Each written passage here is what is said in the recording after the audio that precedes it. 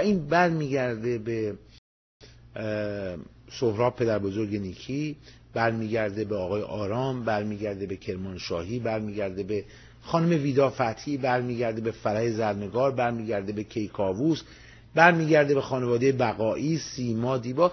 این کار همه ماها بوده. توی مقطعی انجام دادیم. دو سال رفتیم به نیویورک. چندین ارزم به حضورتون اجتماعات بزرگی رو در لس آنجلس برگزار کردیم.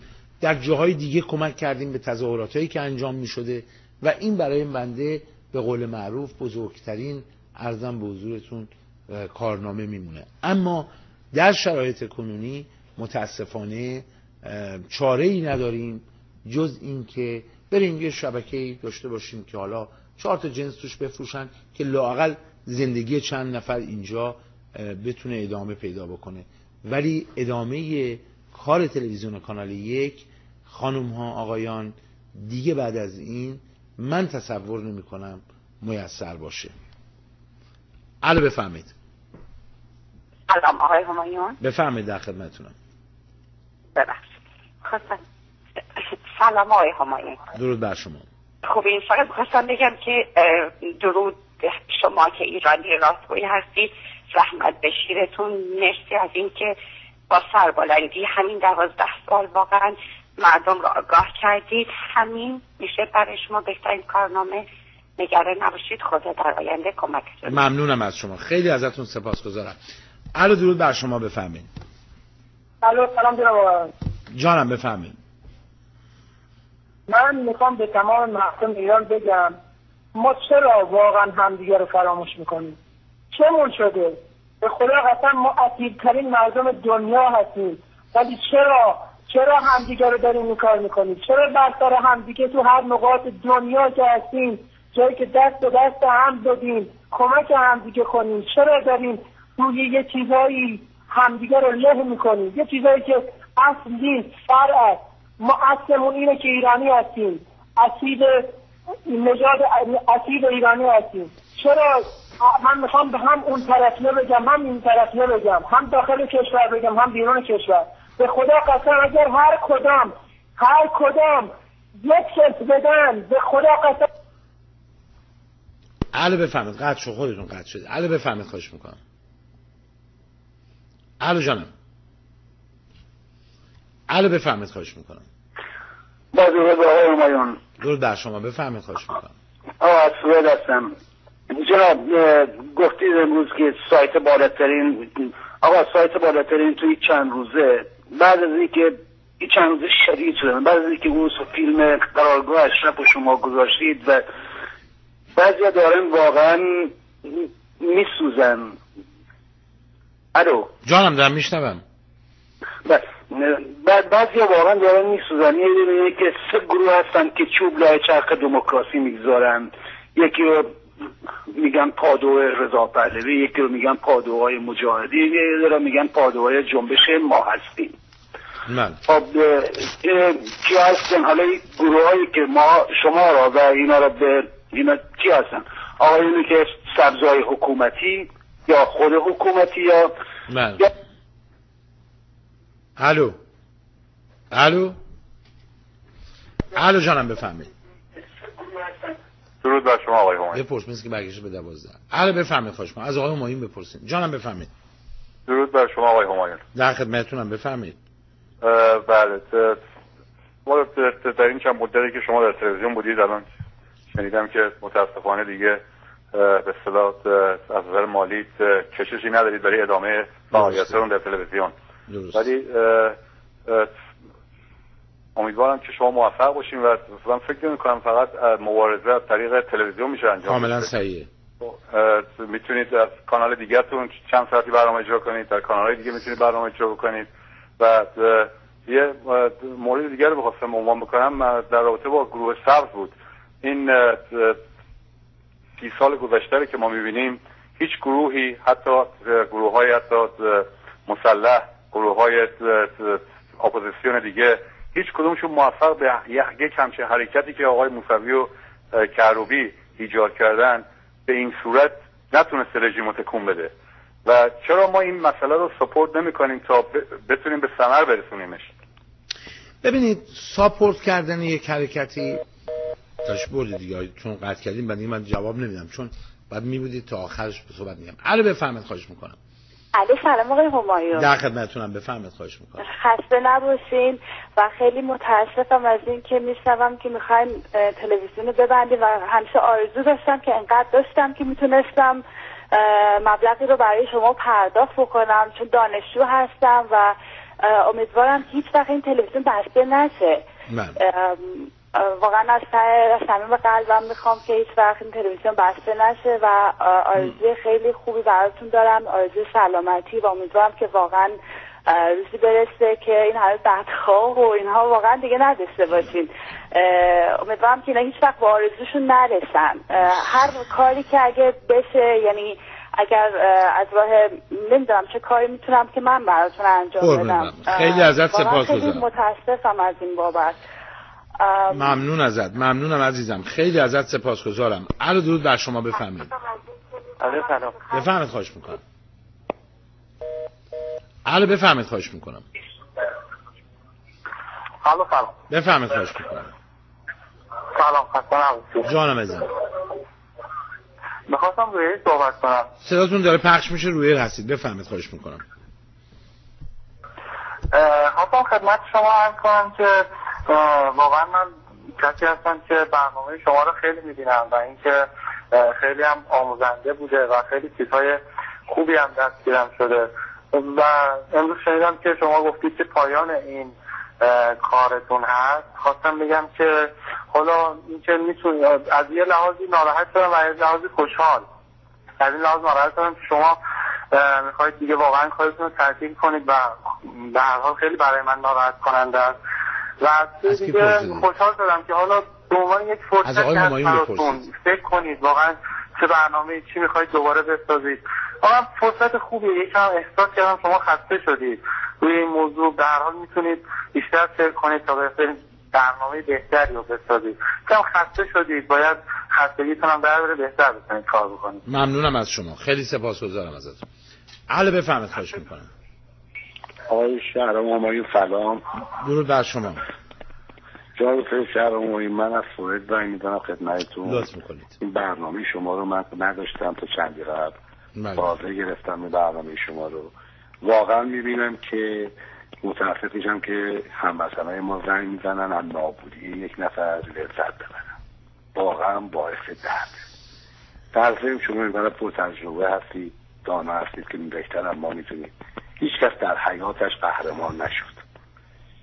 و خواستم خدمتون بگم که این همه که شما زحمت کشیدید این همه شنونده دارید. اگر این شنونده ها واقعا در سایدم یه رادیویی بود. همه تعریف می‌کردن میگن چه رادیوی خوبیه چه رادیو مرتبیه. من برگشتم گفتم شما که اینقدر این رادیو تعریف می‌کنی؟ خب حداقل نفری صد کرون بدی. اگه این همه ایرانی در لس در اروپا هستن. برنامه شما دارن نگاه می‌کنن لذت می‌برن. هر کدوم 20 دلار بدن. 30 دلار بدن. شما این را تلویزیون هم راه میفته خاموش نمیشه. همین بله. از شما. سپاسگزار از شما. از درود در شما بفهمید شما آقای همایون. بفهمید خواهش می‌کنم. آقای این جمهوری اسلامی اینقدر از شما میترسه که دستور داده به موضوعای خودش که مزاحم برنامه که یک دانشگاه برای ملت ایرانه بشه و اینقدر از باستاب جنایتی که در عراق و دستور خود جمهوری اسلامی به ایرانیان شد به حراس اومدن و سوختن که دست دراز کردن به هرچی معتاد. علاق زنگ بزنن و وقتی این دانشگاه رو بگیرن. درود به شما آقای آمان ممنونم از شما در نزد ما جا دارید. نفر اول ما در مبارزه هستید. ما رو روشن کردید. در تاریخی کشورمون. واقعا در شما. کوروش از لندن مخلص من ممنونم کوروشان. خیلی سپاسگزارم علی درود در شما بفهمید درود بر شما آقای همایون. در خدمت من تورنتو زنگ می‌زنم. لطف می‌فهمم بفهمید مشتاق جان. خسته نباشین. آقای همایون به یکی گفتن گفتن که سیگار رو ترک کن. گفتش که باش ما سیگار رو ترک می‌کنیم ولی به چه امیدی دیگه من صبحونه بخورم یا نهار بخورم؟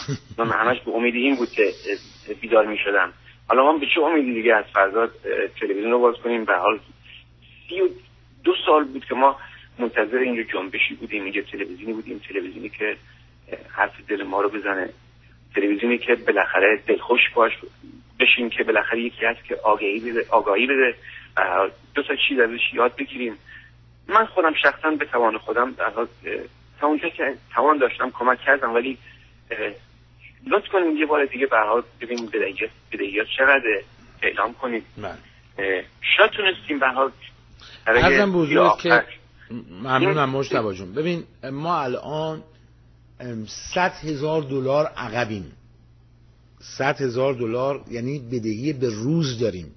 یعنی بنده یا باید دوربین و لامپ و چراغ اینجا رو بفروشم و این صد هزار دلار رو بدم که نظرم بیشتر از این بشه و با شما هم هیچ رو درواسی ندارم. و بعد از اون ما یه هشتاد هزار دلار هم کم کسری بودجه داریم. یعنی الان یه صد هزار دلار اگر ندیم فردا خب اصلا دست ما نیست همیشه قطع میشه. و این صد هزار دلار بدیم. بعد از اونم ما یه هشتاد هزار دلار ما کسری بودجه داریم. بودجه ما هم که میگن فرق می‌کنه با این برخی از تلویزیون ها حسابدار قسم خورده داریم. نمی‌دونم به دولت هست. ما مسائل مالیاتیمون هست اینا. و به همین دلیل چی؟ ببین خودش من رو مثل خودت فکر کن. من چطوری می‌تونم از عهده 100 هزار دلار بدهی یه تشکیلاتی بر بیام؟ فقط 100 هزار دلار. وظیفه وظیفه ما هستش. خب من ببین تا حد مقدور مشتبه جون من تا حد مقدور آمدم و مطرح کردم. دو سه بارم این اتفاق افتاده دو سه بارم ما رسیدیم به این مرز خوشبختانه ولی الان دیگه حقیقتشو بذار بگم خودم هم دیگه کشش ندارم. الان خودم هم احساس می‌کنم که اون وظیفه اصلی من کار اصلی من تحت شعاع مسئله مالی اینجا قرار گرفته. کاملا. و الا اگر یک تلویزیونی با این قدرت با این وضعی که همه دارن فوشش میدن رئیسش تحت تعقیب پلیس بینالمللی به شکایت جمهوری اسلامی هزار تا بیننده نداشته باشه که نفری صد دلار بدن خب منم و توی فکرش رو بکن. ما این زحمت و این هزینه و این برای چی آخه؟ خب آخه ما چه آخه من اینجوری نگاه می‌کنم ما چه ملتی هستیم؟ ملت ایرانی که اگه دم دم می‌زنیم ما همون ملتی هستیم که همیشه تاریخ همیشه تاریخ آدمامون رو تنها گذاشتیم. یه روزی بابک خورمدین گوش بدید مردم. بابک خورمدینی که 22 سال مقابل عرب جنگید این آدم آمد کوله پشتی انداخت رو دوشش رفت تو دهات در خونه ها رو می‌زد کاهو از مردم فنگرزینگ می‌کرد. همیاری می‌گرفت کاهو یونجه. من کجا بابک کجا؟ والا به خدا اگه بذار این این تلویزیون بسته بشه دیگه ما باید اسم خودمون نباید بذاریم ایرانی. نسل نسل کوروش نسل داریوش. ما اسم خودمون رو باید عوض بکنیم. بله. به حال من همتون می‌دونید مشتبه جون همتون می‌دونید من اون بیش از اون چه که یه آدم تو این سایت ها گفتن این کلاش کلاهبردار شالاتان کاسب یعنی یه آدم روزنامه نویسی که یه عمری خانواده ای که با احترام با آبرو ملاحظه هیچی رو هم نکردن فقط برای اینه که من این راه متوجه همه اینا رو به جان خریدم. ولی یه جایی می‌رسه که جلو رود دیگه سنگ دیواره. هیچ کاری نمی‌تونی بکنی. از اون عبور نمی‌تونی بکنی. متاسفم مثل همه شما شاید کمی بیشتر از شما برای اینکه این شبکه با خون و دل به اینجا رسید و متاسفم که این اتفاق افتاده ولی ظاهرا چاره ای باقی نمونده و گفتم از اختیار تصمیم من تو رو خدا قطع نکن تو رو خدا نرو نیست. نه من می‌خوام برم نه می‌خوام قطع بکنم. ولی قطع می‌شویم و ناچار هم می‌رویم. الو درود بر شما بفهمید سلام علیکم آقای همایون خسته نباشید. من مهران هستم از آلمان زنگ می‌زنم. از بر بچه طرف خیلی قدیم شما هم زمانی که با آقای ویکتوری برنامه داشتید. و در بله. نهایت موقع خیلی خلاصه از کنم خدمتتون. به قول معروف ببخشید من سر کار هستم باید سریع صحبت بکنم. میگم که عزیزم. بنده خدا داشته جر می‌رفت دیدش که یه کسی که کنار رودخانه خوابیده. یه وری سرش گذاشته تو رودخونه. داره از آب رودخونه می‌خوره. بهش گفتش که بابا تو که اینجوری آب می‌خوری پشه میاد میاد تو چشمت گلود اذیت میشه. اصلا مغزت خراب میشه. سرش بلند کرد گفت مغز چیه؟ گفت ای بابا هیچی تو آبتو بخور. حالا هی همه دارن زنگ می‌زنن به شما میگن لنگش کن. اصلا یادشون رفته شما راجع به چی صحبت می‌کنی. قربونت برم خدا. ممنونم عزیزم. خیلی سپاسگزارم عرض درود بر شما بفهمید درود بر شما جناب همایون در خدمتتونم. بفهمید